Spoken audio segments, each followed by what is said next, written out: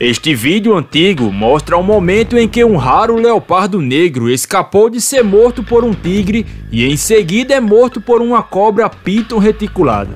Vamos entender.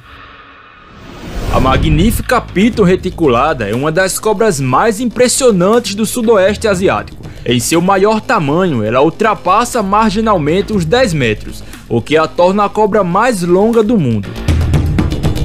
A maioria nunca atinge esse comprimento, no entanto, seu crescimento provavelmente é limitado pela falta de disponibilidade de presas grandes.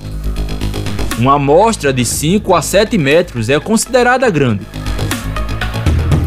Esta cobra, altamente adaptável, ocorre em uma ampla gama de habitats de terra, desde áreas agrícolas até cerrados e bordas de manguezais. Em cidades como Singapura, eles são frequentemente encontrados em canais de drenagem, nas áreas urbanas. Alimentam-se principalmente de mamíferos de pequeno a médio porte, particularmente veados e porcos selvagens, apertando e sufocando suas presas antes de ingerir.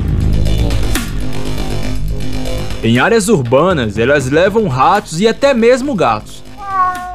Existem casos indiscutíveis em que grandes espécies mataram e tentaram consumir seres humanos. Pois é, dá uma olhada nesta foto. Esta é uma piton da rocha africana. Segundo sites de notícias, essa cobra de quase 4 metros teria engolido um enorme porco-espinho de 13 quilos. Uma piton da rocha africana pode comer quase qualquer animal de sangue quente que seja pequeno o suficiente para descer pela goela. Mas neste caso, a cobra não conseguiu regurgitar o porco-espinho e fatalmente morreu. Enfim, pitons e outras cobras grandes, como a sucuri, são conhecidas por comer animais tão grandes quanto antílopes ou cervos.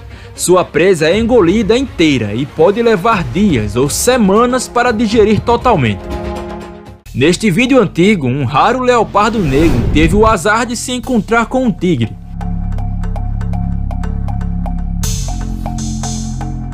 E após escapar com vida, foi atacado por um apito reticulado, mas infelizmente não teve a mesma sorte.